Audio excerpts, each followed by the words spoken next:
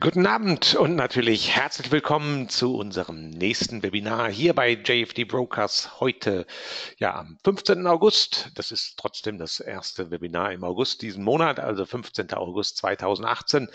Und ähm, ja, gewohnter Sprecher Stefan Friedrichowski, wie immer redet mich gerne unmittelbar und direkt auch ähm, gleich mit Stefan an, wann immer ihr und wo auch immer ihr mit mir in Kontakt tretet. Ihr seht ja schon wie immer meine E-Mail-Adresse hier unten eingeblendet.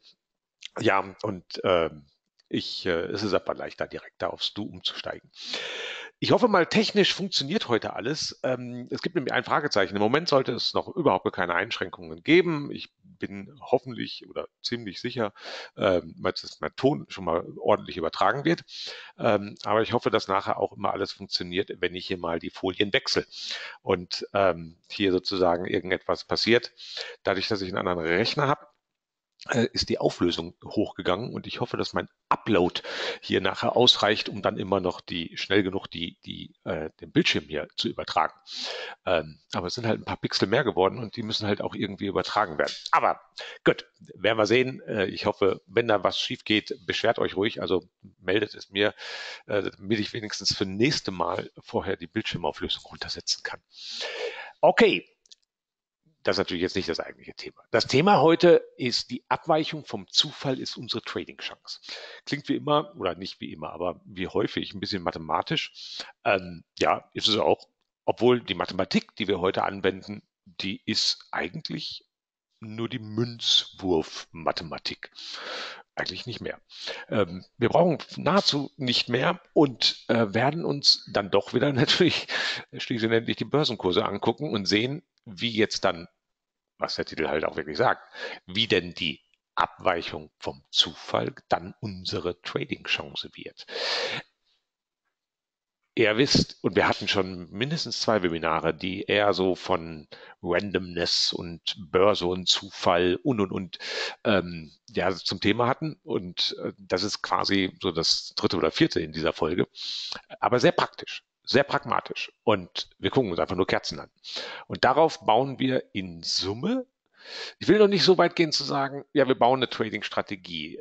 Ich äh, will niemanden am Ende dieser Stunde enttäuschen. Also es kommt nicht so sozusagen, einerseits ist das schon eine Trading-Strategie fertig, aber es ist noch keine ganz mechanische. Was wir also am Ende haben, ist, wir haben auf jeden Fall einen Vorteil für diskretionäres Traden.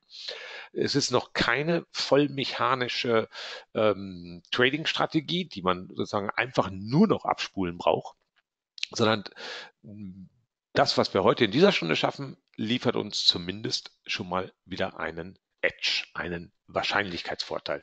Das Wort Edge äh, benutze ich hier immer deswegen gerne, weil es so ein bisschen aus der Pokersprache kommt äh, und einfach auch dieses Wort Wahrscheinlichkeitsvorteil, was ohnehin irgendwie so ein bisschen langatmig ist, ähm, aus meiner Sicht, naja, fast noch treffender beschreibt. Aber wie auch immer, wollen uns hier nicht mit der englischen Sprache aufhalten. Herzlich willkommen im Namen von JFD, will ich natürlich auch nochmal sagen. Okay. Ähm, so, wir haben natürlich, ihr alle wisst, wir, alle Welt redet über ESMA und ähm, natürlich hat das auch Einzug bei JFD gefunden, ist ja logisch. Ähm, deswegen gibt es jetzt hier einen neuen, neuen Risk-Disclaimer, den ich wie immer zeige. Ähm, aber es gibt eigentlich nur ein einziges wichtiges Thema. Wir zeigen was, und schließlich und endlich ist natürlich immer noch, dass, wenn ihr tradet, äh, ihr das natürlich voll auf eigene Verantwortung macht und hier zwar Anregungen bekommt, aber ähm, ja, traden ist und bleibt eure eigene Verantwortung. Ähm, ist, glaube ich, wie immer klar. Gut. Können, können wir also relativ schnell drüber hinweggehen, hoffe ich wenigstens. Die andere Bemerkung, auch wie immer, äh, oder die anderen zwei Bemerkungen, ähm, natürlich wird das Webinar aufgezeichnet, ist dann morgen wieder auch auf dem JFD YouTube-Channel äh, zu sehen. Und äh, die andere Anmerkung, die Folien des Webinars sind natürlich hier schon ähm, wieder zum Download für euch bereit. Und wer nachher, ich zeige bestimmt wieder zehn Excel-Sheets, äh, wer die nachher haben möchte, ähm, wie immer, einfach kurz eine E-Mail an mich. Ähm, Gab es gerade schon mal äh, die Adresse, also s.friedrichowski at jfdbrokers.com. Ähm, kommt aber am Ende auch nochmal und in den Folien steht es ja ohnehin. Gut, also mal ein bisschen genauer. Ähm, wir gehen heute, wir starten tatsächlich mit dem Münzwurf. Und das ist auch nicht so ganz von ungefähr. Ich glaube, wir haben alle schon genügend Charts gesehen, äh, auch wenn ich gleich schon wieder einen zeige, aber und naja, irgendwie sieht das ja oft immer so aus, rauf und runter. Eine rote Kerze, eine grüne Kerze oder welche Farbeinstellungen ihr auch immer äh, hier benutzt. Es sieht schon oft ziemlich verrückt aus. Und wenn man mal wiederum den heutigen Tag nimmt, boah, ganz schöner Abverkauf. Ähm, nicht von schlechten Eltern. Ähm, führte natürlich zu Kerzen mehr immer in der gleichen Farbe, also in meiner Chart-Einstellung dann in der roten. Ähm, also zumindest, wenn man auf Indizes geguckt hat, äh, welche genauen Forex-Paare in welche Richtung betroffen waren. Und ich weiß, dass der Yen nach unten gegangen ist, was gut war. Ähm, aber so ganz im Blick habe ich das alles nicht. Also wir starten tatsächlich am Münzwurf. Also eigentlich so was ganz Triviales. Und das ist jetzt wirklich ein bisschen Zufall. Das Webinar, ihr wisst, ich mache die immer einen Monat vorher oder so kündige ich die an oder gebe die Titel weiter. Jetzt habe ich gestern Abend ähm, in meiner Hängematte äh, hängend und liegend ähm, mal natürlich auf Facebook geguckt und da kriege ich dann was gezeigt von Geo und äh, finde der Wahrscheinlichkeitsvorteil im Spiel Schnick, Schnack, Schnuck oder äh, wie heißt es? Ähm, eine andere Bezeichnung ist ähm, Messer, nee, Schere, Stein, Faust oder so ähnlich. Egal. Ihr wisst, glaube ich, genau, was ich meine. Das fand ich klasse. Passt nämlich hier perfekt in mein Webinar rein. Deswegen will ich auch das mal kurz äh, ähm, untersuchen und äh, nicht untersuchen, sondern mit euch teilen. Und dann gehen wir dann natürlich hin und untersuchen erstmal den echten Zufall, weil wir müssen uns vorbereiten. Wir müssen nachher äh, die Spreu vom Weizen trennen, damit wir nicht ähm, schon irgendwo nachher Abweichungen sehen, die aber noch im Rahmen einer möglichen Statistik sind. Ihr, ihr schon mal als ad hoc, natürlich kann es immer sein, dass man mal zehnmal hintereinander äh, zum Beispiel Kopf wirft. Das ist natürlich möglich. Aber wir müssen ein bisschen gucken, wie häufig Dinge passieren können und wie dann so Statistiken genauer aussehen. Nur dann, wenn wir das vom echten Zufall kennen, wie dann auch da schon mal Abweichungen scheinbar aussehen, weil wir ja immer nur eine begrenzte Anzahl von ähm, von Ereignissen untersuchen. Also ich greife ein bisschen mal vorweg. Wir alle wissen, die Wahrscheinlichkeit bei, bei der Münze ist 50-50, also zumindest wenn nichts getürkt, ge, gezinkt oder sonst was ist. Ähm, dann ist es 50-50. Keine Frage. Äh, aber wenn ich jetzt einfach nur zehnmal werfe, dann ist das noch keine große Statistik. Und deswegen müssen wir uns nachher mal genauer angucken. Wir wollen irgendwann D1-Daten und dann auch H1-Daten untersuchen. Und zumindest bei dem D1-Daten ist immer auch die Frage, puh, wir gucken uns da, keine Ahnung, ich glaube nachher so 15, 18 Jahre an. Das sind trotzdem nur knapp 4000 Kerzen. Ist das schon ausreichend groß? Und wie sehen dann vielleicht auch schon zufällig einfach nur statistische Abweichungen aus? Und deswegen müssen wir genau den echten Zufall auch mal angucken. Dann machen wir natürlich den Übertrag auf die Börse und schließlich und endlich natürlich ähm, den wollen wir jetzt wirklich den echten Wahrscheinlichkeitsvorteil auch erarbeiten und wenigstens in einer Pseudo-Equity-Kurve auch abbilden. Wenn ich sage Pseudo-Equity-Kurve, soll das heißen, wir kriegen schon mal einen Wahrscheinlichkeitsvorteil. Ähm, der wäre allein noch nicht groß genug, um mit dem Traden zu bestehen, weil wir wisst, kommen ja noch die Kosten. Aber umgekehrt, für den echten Trade ähm, haben wir natürlich noch den Stop-Loss und den Take-Profit. Und spätestens dann werden wir das auch umwandeln können in eine profitable Strategie, aber so weit kommen wir heute noch nicht. Gut, also fangen wir mal an, aber ähm, trotzdem mal ein erster Blick einfach auf einen Börsenchart. Ähm, der ist noch von heute Morgen, deswegen ist der wahrscheinlich ein bisschen ruhiger, als man ähm, glaubt. Ähm, dass es in Wahrheit, glaube ich, eine H1 Timeframe ist, spielt für mich überhaupt keine Rolle jetzt für die ersten Aussagen, die ich treffen will. Mir geht es eigentlich nur um sowas wie, wir gucken hier ja natürlich immer drauf und sehen halt Abfolgen von Kerzen. Und im Moment lassen wir mal Kerzengröße komplett außen vor, ähm, sondern mir geht es eigentlich nur um die Farbe. Und dann kriegen wir halt solche Sequenzen. Natürlich haben wir jetzt zum Beispiel hier eine schöne Grünsequenz, logischerweise dann äh, aufwärts. Oder wir haben hier eine Wahnsinns-Rotsequenz. Eins, zwei, drei, vier, fünf, sechs, sieben Mal hintereinander. Also sieben Stunden, weil das war, glaube ich, ein Stundenchart. Äh, sieben Stunden hintereinander ähm, rot. Ich weiß nicht, ob jeder von euch ad hoc parat hat, äh, wie hoch jetzt die Wahrscheinlichkeit ist, äh, dass man rein statistisch siebenmal ähm, ähm, hintereinander sozusagen die rote Farbe kriegt. Ich muss selber mal rechnen.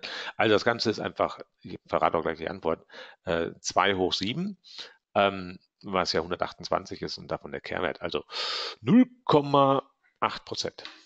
Also nur etwa, ich sag mal 1 Prozent. Jedes hundertste Mal kann so etwas überhaupt vorkommen. Rein statistisch. Und da fängt jetzt genau die Überlegung an. Wir haben hier Abfolgen von Kerzen, und wollen einfach hinterfragen, ob nicht da Abweichungen vom Zufall sind. Weil wenn dem so ist, hey, dann wird sofort interessant. Wenn sich also herausstellen würde, mal nur so hypothetisch, normalerweise ist es ja so, der Zufall ist, also jetzt der, der Münzwurf, das nennt man, der ist erinnerungslöschend. Also bei jedem neuen Münzwurf gilt 50-50. Das ist das Grundgesetz schlechthin hier ähm, in der ganz reinen Statistik. Aber die Frage ist, gilt es auch an der Börse? Was, wenn wir feststellen, dass nach zwei beispielsweise roten Kerzen, natürlich wäre jetzt statistisch gesehen für die nächste Kerze 50-50, wenn es denn reine Statistik ist. Aber stellt euch mal vor, wir finden, finden da einen Bias, also irgendwie so ein 60-40, 55-45, für welche Kerze auch immer. Hups, dann wird es plötzlich interessant, weil dann kriegen wir nämlich diese statistische Abweichung und dann haben wir plötzlich einen Vorteil. Also dann genau, wenn dann eben die 50-50-Regel eben verletzt wird. Im reinen Zufall logischerweise nicht. Also im puren äh, Münzwurf absolut keine Verletzung von irgendwelchen Regeln. Logisch. Ja, aber die Börse, hm, wer steckt dahinter? Der Mensch, äh, zum einen äh, viele Maschinen, zum anderen und vor allen Dingen was ganz anderes. Angst und Gier. Das heißt, ganz andere Triebfedern, die hier ähm, irgendwo einfließen. Und dann noch das kollektive Verhalten von ich will mal sagen, Millionen von Marktteilnehmern, wie viele das auch immer genau sind. Ja, da wird es natürlich schon interessant. Vielleicht kriegen wir da was hin. Okay, gehen wir nochmal kurz aber als auf den echten Zufall ein. Also das war einfach sozusagen die, die, die Grundlagen, die Basics hier äh, mal eben nochmal alle parat haben. Und zum anderen gehe ich hier schon so ein bisschen auf eine Nomenklatur ein, ähm, die ich auch nachher verwenden werde. Also natürlich Wünzwurf, Kinder, also ich mache jetzt hier einfach schon mal gleich einfach Kopf ist eine Eins und Zahl ist eine Null, einfach weil ich ähm, das nachher einfach alles leichter so schreiben kann. Und natürlich gilt beim Münzwurf 50-50. Okay oder die Wahrscheinlichkeit für eine Farbe ist einfach 50 Prozent. Damit wissen wir auch, und das ist sicherlich auch sozusagen intuitiv klar, also zweimal hintereinander Kopf ist natürlich dann die Wahrscheinlichkeit 25 Prozent. Gut. Oder wenn man das so ein bisschen hier äh, symbolisch hinschreibt, also jetzt ähm, stört euch bitte nicht an meinen Gleichheitszeichen, äh, die hier stehen, das ist natürlich keine saubere Mathematik, aber also für eine 1 ist es 50 Prozent, für eine 0 50 Prozent. Naja, und für immer genau eine bestimmte Kombination wie 1-0 oder 0-1 oder 1-1 oder 0-0, also immer diese möglichen, die vier möglichen Zweiersequenzen. Für jede dieser einzelnen ist dann die Wahrscheinlichkeit 25 Prozent. Und genauso geht es dann weiter hier mit den ganzen Dreiersequenzen, also dreimal eine 1 und, und, und bis wir hier bei dreimal eine 0, also dreimal Zahl hintereinander. Für jede dieser genauen Dreiersequenzen ist die Wahrscheinlichkeit dann 12,5 Prozent. Okay, sicherlich kein mathematisches Hexenwerk, soweit. Etwas komplizierter wird es noch für uns an der Börse. Der eigentliche Hintergrund ist, ich will nachher auch zum Beispiel auf den DAX gucken. Und beim DAX, spätestens beim DAX, ist schon die Grundannahme natürlich falsch. Zu sagen, 50-50, also überhaupt mal als, nur als Arbeitshypothese, ähm, ist natürlich definitiv falsch. Wir alle wissen, ähm, dass der DAX einen Long Bias hat. Also sprich, er geht tendenziell nun mal nach oben. Und das schlägt sich natürlich auch in den Wahrscheinlichkeiten der roten und ähm, grünen Kerzen nieder. Das heißt, wir haben dann spätestens sowas wie nicht mehr 50-50, sondern schon in der Grundannahme, meinetwegen 45, 55, 45, weil einfach Longkerzen äh, prägnanter sind. Naja gut, Das können wir allerdings leicht ausrechnen, wie denn der Grundbias ist. Naja, und wenn man das einmal hat, dann kann man allerdings auch wieder diese, diese anderen Sequenzen sauber beschreiben. Nämlich, wenn ich einfach sage, ähm, der Grundbias ist jetzt zum Beispiel 60 Prozent, also 60 Prozent aller Kerzen sind Longkerzen, nur mal so als Grundannahme, dann kann ich auch sehr einfach die für die Sequenzen angeben. Und ihr seht, ich habe es ein bisschen mathematisch dann gemacht. Also die Longkerze kriegt natürlich dann genau mein P, also meine 60 Prozent. Und die Shortkerze kriegt dann mein 1 minus P. Und wenn ich dann die Wahrscheinlichkeit ausrechnen soll für zwei Longkerzen hintereinander, gut, dann ist einfach P mal P. Oder wenn ich zwei Shortkerzen hintereinander haben will, ähm, dann ist es dieses 1 minus P mal 1 minus P. Und so weiter und so fort. Okay. Jetzt muss ich mal kurz hier in die Fragen reingucken. Ähm, ja, kommt ein schon ein Hinweis, den ich sozusagen erahnen konnte und der absolut berechtigt ist. Dann würde aber auch die Größe der Kerze eine Rolle spielen. Es wird ja nichts bringen, wenn wir fünf kleine und dann eine große grüne oder sonst was haben. Äh, absolut korrekt der Hinweis. Das Blöde ist nur, ich brauche jetzt erstmal hier eine Vereinfachung. Wenn ich jetzt hier noch die Kerzengröße mit reinpacke, dann wird dieses einfache Konzept dann gleich A, so kompliziert und B, auch meine statistische Aussagekraft bei weitem nicht mehr so groß, weil ich kriege ganz, ganz, also ich müsste meine Kerzen in Größenklassen sortieren. Alles machbar.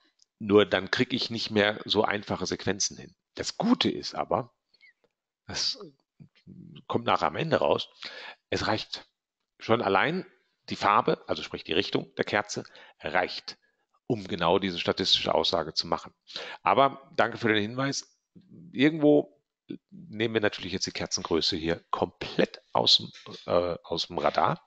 Nachher, wenn wir allerdings die Pseudo-Equity-Kurve machen, naja, dann nehmen wir schon eine echte Kerzengröße. Also für den Trade. Aber für die Vorherbestimmung, in welche Richtung wir traden, nehmen wir nur die Vorzeichen der vorherigen Candles. Also das heißt, wir nutzen dann tatsächlich auch nur das Vorzeichen. Aber natürlich für den Trade ähm, gucken wir uns schon an, wie groß er denn dann gewesen wäre. Da machen wir dann natürlich nicht mehr nur ähm, Einsen und Nullen hier, sondern ähm, schon ein, eine echte ähm, ähm, Trading-Berechnung. Also nicht ganz prozentual machen wir es einfach nur, um, um das schon mal vorweg zu sagen. Gut, also ihr ahnt schon, worauf ich hinaus will. Wir wollen gucken, ob wir solche, ob wir den, also ob unsere Börsenkurse dann doch nicht ganz zufällig sind. Weil sonst, das würden wir uns auch gleich äh, alles beweisen, dass sie nämlich total zufällig sind. Wieder ohne Kerzengröße natürlich.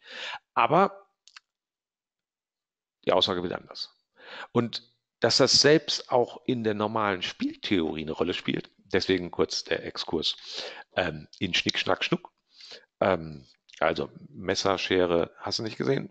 Gleich, gleich steht es auf einer Folie, dann habe ich es auch wieder. Also das war wirklich zu viel Post gestern. Äh, hier ist auch noch ähm, der Link und ich gehe ja gleich auf den Link. Und interessanterweise kann man bei dem Spiel nämlich tatsächlich, also das haben halt äh, hier Leute mal äh, untersucht, tatsächlich einen statistisch signifikanten Vorteil erreichen. Was ja ad hoc erstmal völlig Banane ist, also völlig unmöglich. Dieses Spiel ist ein 50-50-Spiel. Es hat keinen inhärenten Bias nach irgendwo. Warum doch? Der Mensch. Der Mensch ist es. Und ich will das mal kurz zeigen. Ähm, und will mich nicht zu lange aushalten. Also bei dem Spiel Schere, Stein, Papier, so jetzt habe ich es auch endlich wieder. Ähm, da gibt es ein paar Regeln, die, die tatsächlich zu einem Bias führen. Ähm, und die sind jetzt wieder menschlicher Natur. Also ein Bias, Männer neigen dazu, den Stein zu nähen. Aus irgendeinem Grund haben die einen Bias für dieses Harte. Das heißt, als Gegner eines Mannes sollte man vielleicht eher Papier nehmen, wenn man ihn dann einwickelt. Hat sich hier statistisch von, bei der Beobachtung von vielen, vielen, vielen Spielen ähm, als Vorteil herausgestellt. Oder Sowas wie Gewinner bleiben zumeist beim selben Symbol, Verlierer wechseln es. Aha, auch interessant. Das heißt, ich gucke mir an, wie das letzte Mal war und daraus leite ich ab, was wohl am, bei, beim nächsten ähm, gesetzt wird. Oder Anfänger setzen dasselbe Zeichen ungern mehr als zweimal. okay, ähm, auch gut zu wissen. Ähm, Also kann man mal Sequenzen mal hintereinander legen. Das Interessante ist, wir reden hier über ein Spiel, was inhärent statistisch gesehen keinen Bias, keinen Vorteil für nichts hat. In der Anwendung als Gegner, wenn der Gegner ein Mensch ist, sieht es plötzlich anders aus. Und so ähnlich ist genau das, was wir hier jetzt auch tun, nur dass wir nicht den, also unser Gegner ist nicht die Börse, sondern äh, die äh, anderen Börsenteilnehmer und wir versuchen natürlich besser zu sein. Also fand ich es wirklich tolle Koinzidenz, dass genau gestern dieser Post kam, dass für ein Spiel, was eigentlich auch ein sauberes 50-50-Spiel ist, genau wie der Münzwurf, gibt es plötzlich doch ein Bias. Und der Grund ist natürlich der Mensch dahinter. Okay. Also, wie gehen wir jetzt vor? Wir untersuchen zunächst mal den reinen Zufall, habe ich gesagt. Ähm, und damit wir halt genau wissen, was können denn so mögliche Abweichungen sein. Und die wollen wir halt nicht überinterpretieren, weil wir müssen aufpassen, dass wir hier nicht in statistische Fallstrecke laufen, dass wir nachher was sehen, was aber alles noch im Rahmen einer statistischen Abweichung ist. Und da ich das nicht mathematisch machen will, mache ich das praktisch. Und äh, deswegen einfach äh, in, in Excel, auch wenn man das durchaus hätte mathematisch so machen können. Also, kurz nochmal die Nomenklatur. Beim Münzwurf ist einfach eins die Kopf und null eine Zahl und später machen wir einfach aus der eins eine Longkerze und aus der null eine Shortkerze. That's it. Also, ähm, prinzipiell ganz einfach. So, jetzt geht's mal wirklich ins Eingemachte. Wir gehen mal hier in meinen ähm, Münzwurf rein. Und ich mache es erstmal ein bisschen größer, ähm, damit wir hier noch ein bisschen was sehen. Gut, und die Abbildung ziehen wir auch mal kurz ein bisschen nach unten, weil ich erstmal nur ähm, die Systematik hier ein bisschen erläutern will. Danach mache ich es auch wieder ein bisschen kleiner, weil ich brauche ein paar mehr Zahlen hier gleichzeitig auf dem Schirm. Gut, ihr wisst, wenn ich über ähm, Statistik hier anfange, Münzwürfe, dann geht es immer zunächst mal los, dass ich hier einfach äh, Zufallszahlen erzeuge, also Random-Anweisung, gibt eine Zahl zwischen 0 und 1 und dann habe ich hier nachher sowas wie ein Threshold, also einfach eine, eine Schwelle. Im Moment steht er natürlich noch beim fairen Münzwurf, also 50-50. Und ja, äh, und dann geht das halt hier los. Die ersten drei Münzwürfe ähm, waren ähm, sozusagen eine, eine Shortkerze und ähm, naja, äh, und dann untersuche ich halt hier, gehen wir mal auf die Nomenklatur ein, P1. P1 soll einfach heißen, okay, diese Kerze hier ist jetzt eine Shortkerze, deswegen steht hier eine Null, so wie ich das vorhin sagte. Und ähm, dann geht das hier nachher weiter, ähm, da steht dann plötzlich eine Eins. Kurze Anmerkung, warum habe ich nachher aus der die 1 zu 1 gelassen und aus der Minus 1 eine 0, na, weil das sich sonst so blöd schreibt. Ähm, und deswegen, aber ich hätte es auch etwas anders machen können. Okay, ich, um euch endgültig zu verwirren, sorry, äh, habe ich es hier oben noch mit der Minus 1 gelassen. Erklärt sich trotzdem alles relativ einfach und von selbst. Die Frage ist, hier in dieser Spalte steht jetzt immer, okay, wenn es eine Longkerze war, also wenn der Wurf ein Kopf war. Und die ersten drei Mal war es das nicht. Okay, deswegen, und dann geht das hier weiter und weiter und weiter. Beim nächsten frage ich einfach, ist es sozusagen Zahl, ähm, das, was nachher die Shortkerze wird? Okay, ist jetzt natürlich hier genau das jeweils entgegengesetzte. Soweit noch alles ganz einfach. Jetzt frage ich als nächstes, habe ich eine Long-Long-Sequenz, also eine Kopf-Kopf-Sequenz. Und ihr seht es ganz einfach, was ich hier oben tue. Ähm, ich gucke einfach die aktuelle Kerze an und ich gucke die vorherige Kerze an und frage, ob beides Longkerzen waren. Wenn es beides Longkerzen waren, kommt hier ähm, eine Null hin, äh, eine Eins hin, sorry. Ähm, so wie jetzt hier zum Beispiel. Da hat man nämlich zweimal hintereinander Kopf also zweimal hintereinander das gleiche Ergebnis. Deswegen steht hier oben P11. Das ist einfach hier die Nomenklatur. Dann gibt es hier P minus 1 minus 1, sozusagen zwei Shortkerzen hintereinander. Und so geht das Ganze jetzt hier in dem Excel-Sheet munter weiter. Das heißt, ähm, ich versuche mal ähm, eine Vergrößerung, nehme ich mal raus. Ähm, so geht es halt weiter. Dann gucken wir irgendwann in den reinen Zufallskerzen, wie oft oder wann ist jeweils dreimal hintereinander eine Longkerze gewesen. Das wäre dann so ein P111. Also sprich dreimal hintereinander Kopf und so weiter. Und jetzt kommt halt das, warum ich gesagt habe, wir müssen diese Vorübung machen. Weil wir müssen feststellen, wie sehen denn so die Abweichungen vom Soll-Zufallsverhalten aus? Weil damit wir ein Gefühl dafür kriegen, wenn wir das anschließend mit Börsenkursen machen, dass wir uns ja nicht überinterpretieren. Wie habe ich das hier aufgezogen? Ihr seht, hier oben stehen die Sollwerte. Ich schreibe es mal eben noch davor. Soll. Und hier stehen die Ist-Werte. Übrigens, immer wenn ich hier was schreibe, äh, ändert sich automatisch die Statistik. Und wir sehen jetzt schon gerade mal hier, oh, also ihr seht hier hinten, da diese Kerze, also ich meine der Balken, der ist plötzlich so riesig geworden, deswegen gehe ich mal auf ihn ein. Der Balken ist natürlich hier unser allerletzter.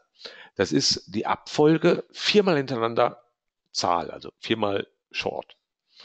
Und hier kommt jetzt gerade mal raus, dass wir hier eine deutliche Abweichung haben. Und zwar in einer Weise, wir haben in diesem Muster, in diesen, das sind hier knapp 4000 Münzwürfe, ähm, kamen die zu häufig vor, nämlich 7,4 Prozent. Statt dem Sollwert 6,25. Und das, diese Abweichung, das ist diese 18 Prozent, die da oben stehen. Und das ist das, weil ich sage, okay, also wir müssen aufpassen, dass gerade bei den selteneren Ereignissen, dass unsere Statistik natürlich auch dadurch leidet, je nachdem, wie viele Kerzen wir haben, also die wir untersuchen. Hier ist es jetzt im Moment so, ich habe die Zahl der Kerzen oder Münzwürfe so gewählt, dass es nachher einer D1-Statistik entspricht wenn wir dann so ungefähr 4000 Tage untersuchen. Ich habe dann eine zweite Tabelle gemacht, wo das Ganze dann für AH1 vorgesehen ist. Und dann werden, das ahnt ihr, äh, natürlich auch diese ganzen Abweichungen kleiner. Also mir geht es dann darum, hier nur so ein Gefühl dafür zu schaffen, wie sind denn mal so typische Abweichungen. Und da sieht man, kommt auch durchaus schon mal was zustande an. Aber es ist eher weiter hinten und im vorderen Bereich sind die Abweichungen immer noch meistens in wenigen Prozentbereich. Wenn ich jetzt von Abweichung rede, heißt das, das ist ja hier pure Statistik, aber mit einer begrenzten Gesamtheit, also sprich ungefähr 4000 Kerzen. Und die, die Tabellen sind nachher alle gleich aufgezogen. Was ich halt vorgesehen habe, ist, dass das Ganze, deswegen heißen die übrigens ähm, ähm, mit einem Bias und Bias Corrected, weil wir könnten jetzt auch diesen, diesen ähm, manipulierten Münzwurf. Also das ist schon mal äh, nachher das für das, was wir beim DAX nämlich brauchen. Wir könnten auch sagen, okay, wir würfeln in 60 Prozent aller Fälle, würfeln wir ähm, immer mh, mm, Kopf. Und das wird jetzt hier berücksichtigt, aber auch in den Sollwerten. Ähm, das heißt, ihr seht sofort, der Sollwert ist jetzt hier auch für die ähm, Kopfwürfelei auf 60 und für Zahl dann auf 40 äh, runter und die gesamten Abweichungen werden jetzt hier auch alle ein bisschen größer.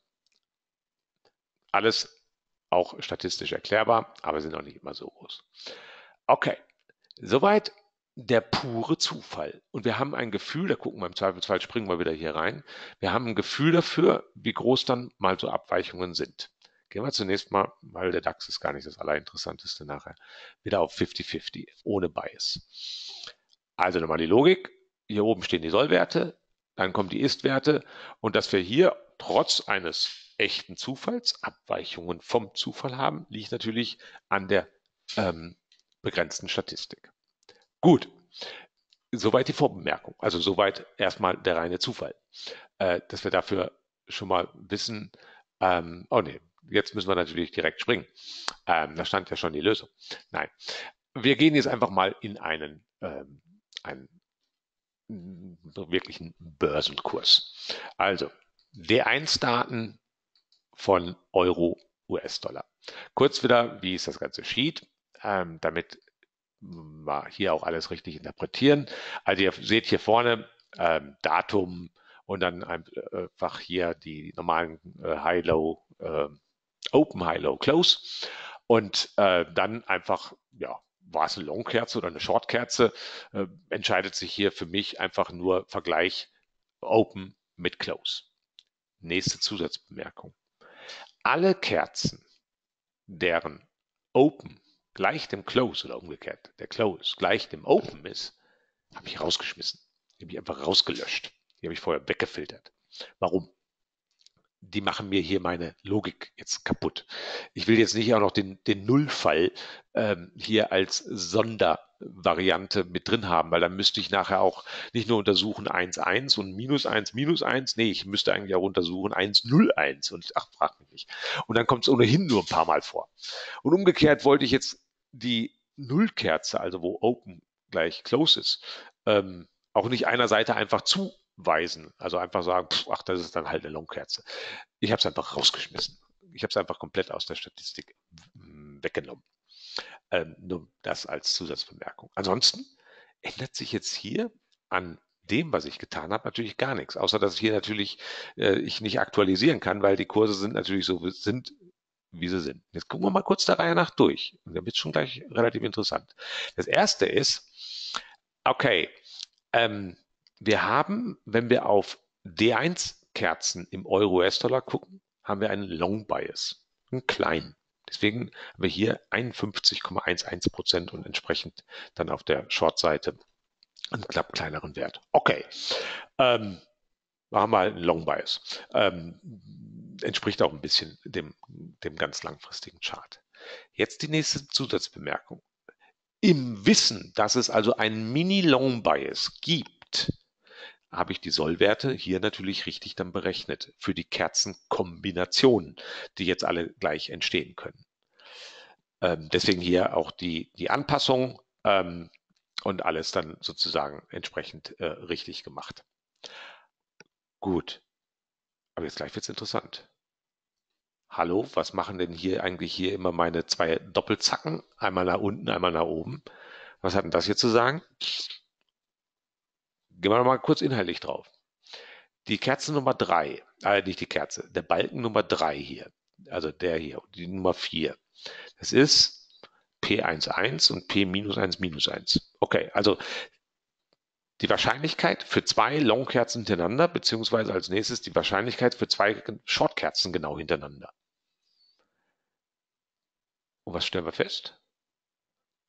Äh, die kommen nicht häufig genug vor. Eigentlich hätten zwei Longkerzen mit 26 Prozent äh, hintereinander vorkommen müssen. Aufgrund des leichten Long Biases, den wir ohnehin haben. Kommt aber nicht vor. Das heißt, warte mal, da ist schon die erste Abweichung vom Zufall. Äh, Gleiches gilt natürlich, äh, nicht natürlich, gilt auch für zwei Shortkerzen hintereinander. Die kommen nicht häufig genug vor. Warte mal, das heißt dann, ich weiß jeweils schon den ersten Mini-Bias. Wenn ich also eine Long-Kerze habe, dann ist es doch so, dass die Wahrscheinlichkeit, ich mache mal jetzt ohne den Bias, dass die nächste Kerze 50-50 ist, also äh, long oder short, die ist eben nicht mehr 50-50. Weil ich weiß ja, dass 1-1er Sequenzen leicht zu selten vorkommen. Also könnte ich auf Short setzen. Kommt also eine Long-Kerze, hätte ich schon einen ersten Bias mit der nächsten Kerze auf Short zu setzen. Er ist nicht groß. Wir reden hier nicht irgendwie über, über 100% äh, Treffer, um Gottes Willen. Nee, nee. Aber ihr seht, wir haben hier gerade schon den ersten Bias. Und äh, das Ganze wird nachher auch noch ein bisschen schöner in H1-Daten, kann ich euch jetzt schon gleich sagen. Und so zieht sich das hier durch. Entsprechend, weil immer eine sozusagen theoretische Sequenz hintereinander, also die diese vier hier hintereinander müssen als Summe immer genau 100 ergeben, sonst hätte ich hier mathematisch irgendwo ähm, was falsch gemacht und hätte irgendeine Kerzenkombination ausgespart, aber das funktioniert. Das heißt, wir sehen an diesen zwei Zacken da unten hier, also dass die zwei gleichen Kerzen hintereinander kommen geringfügig zu selten vor. Gleiches gilt für zwei Shortkerzen hintereinander.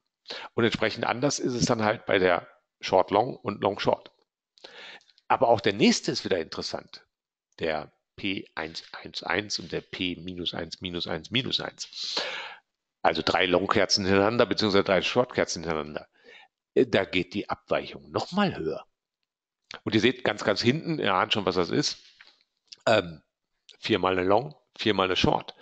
Passiert jetzt überproportional zu selten. Und das ist genau die Aussage, die ähm, die wir ja hier ähm, auch na, nicht erwartet haben, um Gottes Willen. Nee, nee, das ist aber das, worauf ich hinaus wollte. Dass es halt doch eine Abweichung vom Zufall gibt. Jetzt nochmal kurz die Anmerkung, wo ich gesagt habe, wir müssen erst einmal den reinen Zufall untersuchen. Naja, ich hätte sonst dieses Bild hier gekriegt und hätte mich gefragt, wenn jetzt hier bei 7 und 8, 7 und 8 ähm, sind die dreimal long und dreimal short. Äh, wenn ich hier Balken habe mit minus 15 Prozent, also dass die Abweichung zum Soll in Summe immerhin 15 Prozent ist, also relativ gesehen, nicht absolut, dann hätten wir schon fast ähm, ähm, was, ähm, was sozusagen wie den sicheren Gewinn. Also so weit kriegen wir natürlich hier nicht. Wir müssen aber die Frage stellen, ist so alles jetzt hier signifikant, was ich hier sehe, oder ist das einfach nur Bullshit? Also ich meine einfach nur äh, Zufall, äh, aufgrund genau der 4000 Kerzen, die ich jetzt nun mal habe. Naja, und jetzt, die Bilder sind immer gleich skaliert, das habe ich bewusst so gemacht. Die sind immer auf plus minus 25 hier skaliert. Jetzt gehe ich nochmal zurück zum, ähm, zum reinen Random und lass den noch ein paar Mal laufen, damit wir mal sehen, was dann hier so vorkommen kann. Und dann seht ihr, nee, nee, das Bild, was wir hier im echten Euro-US-Dollar haben, ist schon was anderes. Und weil es was anderes ist, sage ich, es hat statistisch signifikante Bedeutung. Wir können also Wahrscheinlichkeitsvorteile aufgrund der Vorkerzen ableiten. Und hier Aussagen hatten wir gerade schon. Ich will allerdings ein paar Mal Sachen mehr zeigen, weil ähm, ähm, Euro-US-Dollar. Naja, wir wissen alle, die Welt besteht nicht nur aus dem Euro-US-Dollar. Nehmen wir mal einen anderen. Ähm, nehmen wir mal einen anderen. D1. Okay, nehmen wir mal US-Dollar, japanischer Yen. Machen das Bild ein bisschen größer.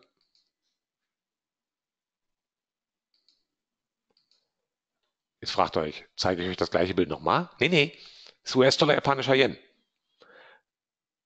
Sieht aber irgendwie so ähnlich aus. Ich scroll mal zurück. Euro, US-Dollar. Und wieder zurück. US-Dollar, japanischer Yen.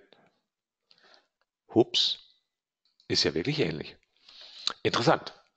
Hier übrigens, ähm, erstmal gibt es hier einen Grundbias im US-Dollar, japanischem Yen. In dem Fall sogar wirklich mal nicht, weil unsere Long-Kerzen und unsere Short-Kerzen sind nahezu exakt 50-50. Das heißt, wir haben überhaupt nichts mit irgendwelchen Bias zu tun und hätten eigentlich auch auf die normale Standardstatistik setzen können. Egal. Wir haben es sauberer und das ist ja auch erstmal nett. Wieder die Doppelabfolge Long Long oder Short Short ist unterrepräsentiert. Deswegen hier bei 3 und 4. Auch die Abfolge dreimal Long, dreimal Short ist unterrepräsentiert repräsentiert in den D1-Werten. Und das gleiche, gleiche, gilt für die Vierersequenz. Ähm, hm, jetzt werde ich schon gerade gefragt, ob ich Gold oder Öl habe. Sorry, habe ich nicht. Aber ihr braucht einfach nur die Kursdaten reinwerfen. Aber bitte nimmt vorher die Nuller raus. Also sprich, äh, nimmt die Kerzen und schmeißt mal die, die, die Nullerkerzen raus. Also die, die, weil sonst müssten wir die Statistik komplett anders aufziehen. Also habe ich leider nichts zu. Äh, ich will kurz zeigen, dass nicht alles so aussieht. Ich will noch ein anderes Beispiel mal zeigen. Euro-japanischer Yen auf D1-Basis. Ja, und da ist irgendwie nichts.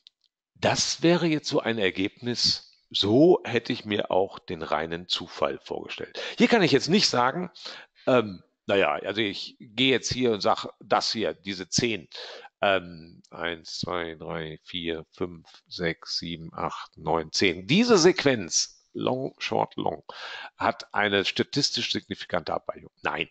Deswegen die Vorbetrachtung zur ähm, reinen Statistik. Das ist hier alles, das ist zu klein. Hieraus will ich nichts ableiten. Das heißt, im Euro, japanischem Yen, finden wir keine bezogen auf die Abfolge von Long- und Short-Kerzen, so muss man es korrekterweise sagen, keine Abweichung von der Statistik. Die will man einfach einen ganz anderen zeigen, ähm, nämlich australischer Dollar, kanadischer Dollar, wird ein bisschen schlapper, wird aber langsam wieder so ähnlich ähm, wie gerade auch schon Euro, US-Dollar. Und äh, letzter im Bunde mal auf D1-Basis. DAX ist nämlich auch nie so doll. Ähm, erstmal hat der DAX logischerweise einen Long Bias, wie man hier unschwer erkennen kann. Ähm, 53 Prozent der Kerzen sind Long-Kerzen. Ähm, aber der Rest ist jetzt nicht ganz so doll. Wir haben zwar wieder drei, vier, also die Abfolge zweimal Long beziehungsweise zweimal Short hintereinander, ist leicht nach Süden. Das gleiche gilt, und da wird es langsam dann doch wieder interessant im Sinne einer Statistik ähm, für die Dreierabfolgen. Der größte ist hier hinten, aber ich will auch den jetzt mal nicht über ähm. Aber halten wir mal kurz fest, machen wir mal Zwischensummary hier, ähm, was wir über die 1 dann schon gelernt haben. Okay, Zwischensummary hier, also bei Euro, US-Dollar, US-Dollar, japanischer Yen, australischer Dollar, kanadischer Dollar stellen wir fest, dass das, was ich jetzt hier mal so als so reine Sequenzen äh, bezeichne, also mit reinen Sequenzen meine ich diese Folgen wie 1100, dreimal die 1, dreimal die 0, also ähm, oder halt, vorhin hatte ich es dann Long Shot genannt. Ähm, sorry, ich hätte das hier mal ein bisschen gleicher machen sollen, aber äh, ich glaube, ihr kommt klar. Ähm, die reinen Sequenzen treten zu selten auf. Okay, das ist schon mal gut zu wissen. Ähm, weil das müssen wir uns merken, weil das können wir für, fürs Traden benutzen.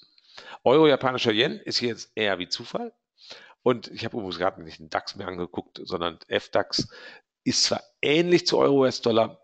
Das Einzige, was wirklich ein bisschen mehr auffällt, ist allerdings, dass die, äh, die, die 4x1-Sequenz, die ähm, tritt zu häufig auf und die andere, ähm, die viermal minus 1 Sequenz, die tritt hm, sozusagen zu selten auf. Ähm, hat denn die, ich will mal kurz eine Sprache, äh, eine Frage mit erwähnen, hat denn die Trendigkeit eines Währungspaars Einfluss auf die Statistik? Gehen wir das mal andersrum an. Also eine Trendigkeit. Was würden, wie würden wir mal Trendigkeit kurz ähm, im Blick auf diese äh, Sequenzen hier uns vorstellen? Trendigkeit würde ja bedeuten, wir hätten zum Beispiel bevorzugt sowas wie dreimal hintereinander eine Longkerze wenigstens oder viermal hintereinander eine Longkerze. Das wäre ja in der Sprache der dieser Kerzenuntersuchung, die wir hier gerade machen, wäre das sowas wie eine Trendigkeit. Das Verrückte ist, wir finden eigentlich genau eher das Gegenteil, nämlich genau, dass diese reinen Sequenzen unterrepräsentiert sind. Die treten zu selten auf. Ähm, das ist gut zu wissen. Was mir in Summe auffällt, ist, ich hätte jetzt ad hoc nicht gedacht, dass genau Euro-japanischer Yen sich anders verhält als die drei erstgenannten hier. Weil der Euro-japanische Yen ist einer, den ich, wenn ich dieses Wort Trendigkeit benutzen würde, würde ich sofort an euro-japanischem Yen denken. Und bei Nicht-Trendigkeit würde ich an australischer Dollar, kanadischer Dollar denken. Aber ihr seht, ähm, ähm, ähm, das macht hier nicht so den genauen Einfluss. Also von daher, aber diese ähnlich kann ich das auch nicht ähm, beantworten. Jetzt machen wir mal einen Blick auf ähm, H1. Wir fangen kurz wieder an mit der reinen Statistik. Also, dass wieder nur wie gesagt, das ist eigentlich nur die Übung, um zu sehen, wie groß sind die, die, die, ähm, diese Abweichungen, so, die einfach so entstehen können. Ich springe mal einmal kurz hier nach unten. Ihr seht, jetzt habe ich 88.000 Kerzen, weil das ungefähr nachher den zehn Jahren entspricht, die wir uns auch auf äh, den realen Kursdaten angucken. Und logischerweise, nochmal die Y-Achse hier in diesem Bild ist immer bei allen Bildern, die ich hatte, gleich skaliert, immer minus bis plus 25. Ähm, und ihr seht schon, natürlich, jetzt haben wir eine viel größere statistische Gesamtheit, nämlich 80.000 Kerzen.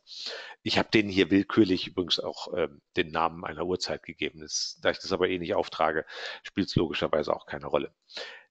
Dass wir jetzt hier eine viel bessere statistische Gesamtheit haben, ähm, sehen wir daran, dass wenn ich jetzt hier mal die, das Bild aktualisieren lasse, also sprich eine neue Zufallskerzenreihenfolge ähm, mache, ähm, dann bleiben im Wesentlichen diese ganzen Abweichungsbalken die ihr jetzt genauer ja schon kennt, äh, alle ziemlich mickrig. Ähm, liegt halt daran, wir haben jetzt eine bessere statistische Gesamtheit. Wie gesagt, das hätte man auch alles ausrechnen können, aber ich mache es einfach nur ähm, hier sozusagen ähm, bei, bei Praxis, also bei Doing, sodass wir dafür auch direkt ein statistisches Gefühl haben. Gut, jetzt kriegt man natürlich, ihr ahnt es, äh, natürlich auch wieder auf äh, echte Börsenkurse. Also Euro, US-Dollar, fangen wir wieder an der gleichen Stelle an. Bild größer. Der eine oder andere fragt sich, ähm, zeigt ihr mir jetzt das gleiche Bild wie gerade? Wie bei D1?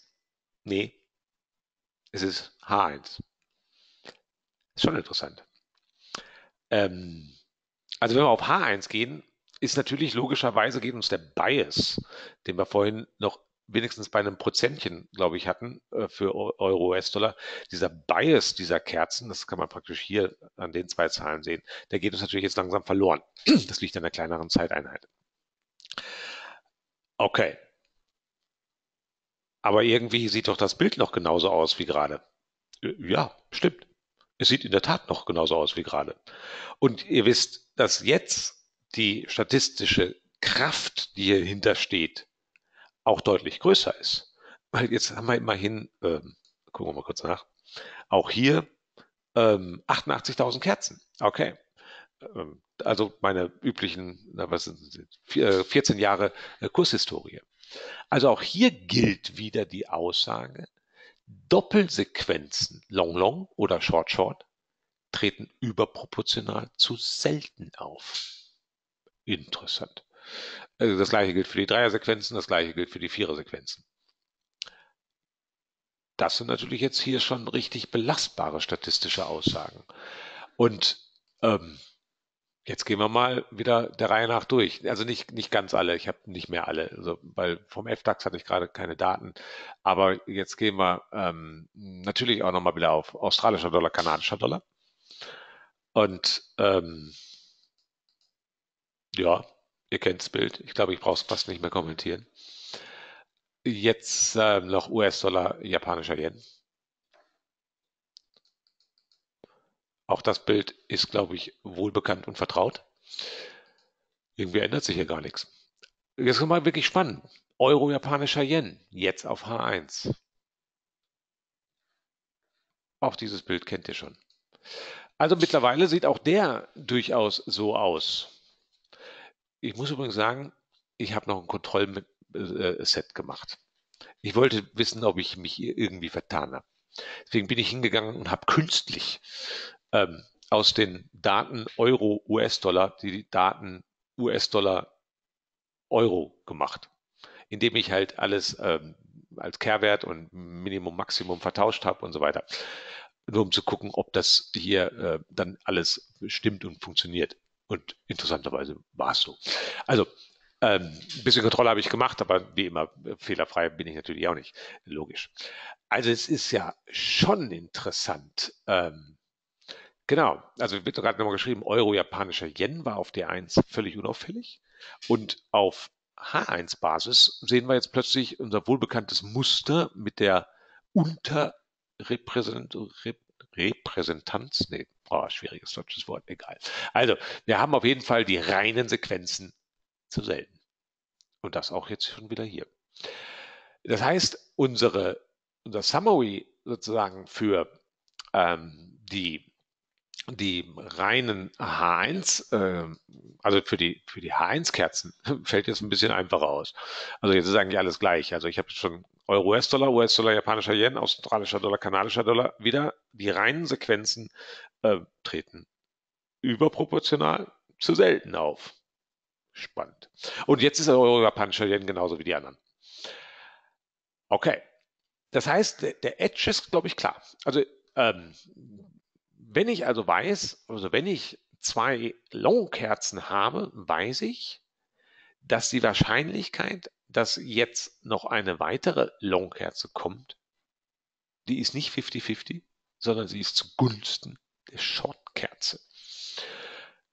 Und genauso kann ich das äh, aus der ersten ableiten, also aus dem 1-1 oder auch aus dem meinetwegen 3-3, äh, viermal. Das heißt, ich habe nicht mehr das gleiche. Und jetzt können wir uns das mal angucken, wie das eigentlich über eine Zeit aussieht. Machen wir das auch noch. So, das heißt, ähm, wo ist denn vorbereitet? Euro, US-Dollar. Da. Ähm, da sind wir. Jetzt schieben wir das Bild einfach mal rüber.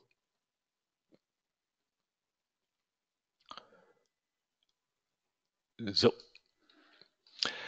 Kurz, was mache ich? Ähm, wir brauchen hier ein bisschen Gedächtnis. Ihr seht, basieren tue ich gleich meine zeitliche Auswertung, ob man damit was anfangen kann mit diesem Vorteil, ähm, auf Basis von dem P111, also dem dreimal Long hintereinander. Was mache ich dann genauer? Gucken wir uns mal an, was, äh, okay, ich sehe schon, ich muss hier noch einen Ticken rüber. Ich muss einen Zoom rausnehmen, damit alles auf dem Schirm passt hier. Ähm, dieser will er nicht. So, jetzt aber. So, K, da sehen wir es. So, was gucke ich hier? Ich gucke einfach, ob K9 eine 1 ist. K ist die 1-1-Sequenz. Also ich gucke, habe ich zwei Einser-Sequenzen? Wenn das der Fall ist, dann gehe ich hin und eröffne einen Short Trade. Was mache ich hier genau? Ich tue so, als ob ich quasi zum Close-Kurs einen Trade eröffne, gucke, wie der Close-Kurs am nächsten Tag ist. Das ziehe ich voneinander ab, dividiere es durch den ursprünglichen Close-Kurs und nimm es mal minus eins. Mal minus eins deshalb, weil ich gedanklich einen Short Trade durchführe, weil das ja genau mein anvisierter Bias ist. Wenn ich das tue, dann kriege ich jeweils diese Trade-Ergebnisse, die hier stehen. Und wenn ich dann die Trade-Ergebnisse, was nichts anderes ist wie Trade-Ergebnisse in Prozent, wenn ich die dann aufsummiere, kommt diese, ich nenne sie mal einfach Pseudo-Equity-Kurve raus. Ja, immerhin nicht schlecht. Was man jetzt sehen kann, ist, dass hier ein paar Jahre lang irgendwie das nicht funktioniert hätte, also die ersten zwei Jahre. Und dann stetig ist das durchaus eine und dieselbe Sache. Machen wir mal eine andere Sequenz, da muss ich wieder lünkern, äh, welche ich dann nehme, ähm, wenn ich das Ganze auf ähm, i, genau, dann kann ich das gleiche machen. Nehmen wir also eine andere Sequenz, nämlich nehmen wir äh, die und fragen, wie die funktioniert hätte. Deswegen habe ich gerade geguckt, was ich dann hier hinschreiben muss. Da muss da ein i hin. Und ähm, das dauert immer ein bisschen, weil das, der muss viel aktualisieren. Und selbst dieser eine Tastendruck hat jetzt gerade schon zu was geführt. Und jetzt kopiere ich es nochmal einmal nach unten. Also jetzt nehmen wir das Ganze auf Basis von ähm, Zweier-Sequenz und gucken uns dann die Equity-Kurve an, die wir kriegen würden.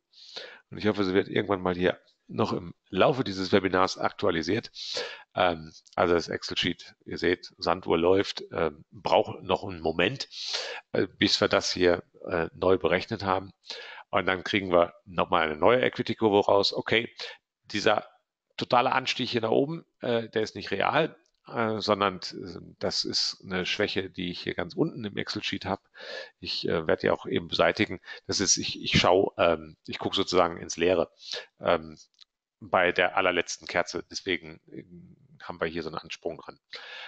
Aber prinzipiell haben wir hier auch eine Bestätigung dieser positiven Equity oder Pseudo-Equity. Ähm, und zwar über nahezu, das hier muss man raus, äh, einfach rausnehmen. Ähm, so, dann haben wir das auch äh, korrigiert weil ich, äh, wie gesagt, da habe ich sozusagen hinter meine Datenreihe geschaut und da schaue ich dann ins Leere und deswegen war dieser Trade so der absolute Mammut-Trade äh, extrem positiv, weil der Kurs äh, dann plötzlich null war. Aber das ist jetzt wirklich nur eine reine Zahlensache. Das heißt, wir kriegen wieder so eine Equity-Kurve aus, die sieht so ähnlich aus wie die gerade auf der auf Basis der anderen Sequenz. Und so können wir das durchgehen. So könnten wir jetzt auch die, die Short-Sequenzen nehmen. Alles sieht hier durchaus ähnlich aus, genauso quer durch die Underlyings. Ähm, also immer ein vertrautes Bild. Ähm, und das gleiche geht auch für die Vierer-Sequenz. Ähm, dann genauso. Ähm, ihr seht, warum mache ich es jetzt gerade nicht? Ähm, weil die Aktualisierung und weil ich alle anderen Excel-Sheets geladen habe und auch noch die Zufalls-Excel-Sheets sind auch geladen und die werden nämlich dann auch immer alle aktualisiert. Ähm, also mache ich es jetzt gerade mal nicht. Wie gesagt, ihr könnt alle Excel-Sheets haben und ähm, genau soll das auch für euch machen. Heißt aber, wir wissen, reine Trade, äh, reine ähm, Kerzensequenzen sind statistisch unterrepräsentiert. Bedeutet, wir müssen dann eher mit einem Vorzeichenwechsel rechnen. Also auf zwei Long-Kerzen folgt eher eine Short-Kerze. Das ist zwar jetzt ein bisschen wie die Milchmädchen-Wahrheit, ähm, was kommt nach zehnmal Kopf, äh, würde wahrscheinlich auch die Mehrzahl eher tendenziell ähm, auf Zahl setzen, was natürlich mathematisch Schwachsinn ist, stellt sich aber hier tatsächlich sogar als richtig heraus. Also als richtig, nicht als empfehlenswert. Statistisch untermauert durch mehr als ein Jahrzehnt Kurshistorie. Nicht schlecht. Damit haben wir schon was gekonnt. Ich kann euch sagen, dass würde man das jetzt mechanisch so traden, reicht es noch nicht. Es reicht noch nicht, um ähm, automatisch einen, sozusagen eine, eine positive Equity zu generieren. Dafür sind dann die zwei anderen Effekte, ihr kennt sie, Spreads und Commissions oder bei anderen Brokern nur Spreads, dafür sind sie dann halt höher. Ähm, das reicht noch nicht, aber wir können natürlich was tun. Das schaffen wir allerdings nicht mehr heute. Äh, wir können natürlich was tun. Wir können nämlich daraus echte Trades machen und wir wissen echte Trades. Da kann man auch noch was mit dem Stop-Loss und Take-Profit ähm, anfangen und wir müssen nicht unbedingt mit Chance-Risiko-Verhältnis äh, 1 zu 1 und schon wahrscheinlich schon gar nicht mit 3 zu 1, äh, sondern eher uns auf die andere Seite begeben, also mit CRVs, die kleiner sind als 1 und würden in Summe vielleicht was hinkriegen. Also, ist aber jetzt noch nicht hier äh, untermauert, deswegen will ich das auch nicht einfach versprechen. Fassen wir mal zusammen, was wir heute gemacht haben. Wir wissen also jetzt, die Börsenkurse verhalten sich nicht wie der reine Zufall. Sonst hätten wir diese ganzen Abweichungen nicht sehen dürfen. Und sie waren signifikant. Deswegen dieser Vergleich, den ich gemacht habe, immer zu dem reinen Zufall, um mal zu sehen, wenn ich also eine begrenzte statistische Gesamtheit habe, äh, wie groß sind dann mal so typische Abweichungen. Wir kriegen das für zahlreiche Underlyings und Timeframes, auch wenn ich hier nur eine Submenge jetzt dargestellt habe, kriegen wir das hin. Und es kommt wirklich auf was Signifikantes heraus. Eine mechanische Handelsstrategie ist es noch nicht, ähm, weil wegen den Kosten. Aber wir können genau umgekehrt über den Stop-Loss und Take-Profit dann wahrscheinlich einiges erreichen. Was wir aber auf jeden Fall wissen, wir können den Input nehmen für diskretionäres Traden. Was meine ich denn damit? Naja, ganz einfach. Äh, angenommen, ihr seid intra, intraday äh, Euro-US-Dollar unterwegs. Na gut, dann gucken wir uns einfach mal auf D1-Basis die letzten zwei Tage an. Und wenn dann da zwei grüne Kerzen sind, würde ich eher nach Short Trades suchen für den dann folgenden Tag und umgekehrt. Und damit haben wir dann schon einen Vorteil. Und dieser Vorteil wird sich bezahlt machen. Da bin ich mir sicher. Weil immer, wenn ich einen Bias habe, einen, schon einen Edge, einen Wahrscheinlichkeitsvorteil, kann ich ihn auch ins diskretionäre Traden retten, wenn ich ihn da nutze, um eher auf die eine Seite zu gucken. Wie gesagt, das ist kein Naturgesetz. Also auf zwei Long-Kerzen muss nicht eine Short-Kerze folgen. Nee, ich weiß nur, die Wahrscheinlichkeit ist größer. Das ist das, was wir hier rausgearbeitet haben. Und das ist das Ergebnis von heute. Ähm, also soweit. Ich hoffe, boah, fast genau eine Stunde und ein paar Sekunden sogar mal heute früher. Ich hoffe, auch wenn es irgendwie nur um Zufall ging und um so komische Sequenzen und andauernd Kopf und Zahlen, es ist ein Bias, den man rausarbeiten kann. Und er ist überraschend. Also für mich zumindest. Und ich hoffe, es hat euch einfach gefallen. Ansonsten, wie immer, Wer die Sheets haben möchte, also jetzt abgesehen von dem, was man hier schon downloaden kann, oder wer die Aufzeichnung erst später sieht, der kann sie nicht mehr downloaden. Immer gilt, irgendwelche Sachen einfach kurz E-Mail, genau, hier unten steht sie nochmal, s.friedrichowski at jfdbrokers. Und äh, natürlich schicke ich euch das Ganze dann gerne zu. Ich kann sie leider hier nicht hochladen. Ich würde es tun, aber es geht technisch nicht. Soweit von mir. Euch allen, wie gesagt, schönen Abend. Ähm, Im Moment ja nicht ganz so eine heiße Zeit. Vielleicht nur an der Börse, aber nicht mehr draußen. So soll es sein. Also, macht's gut, bis dahin. Tschö.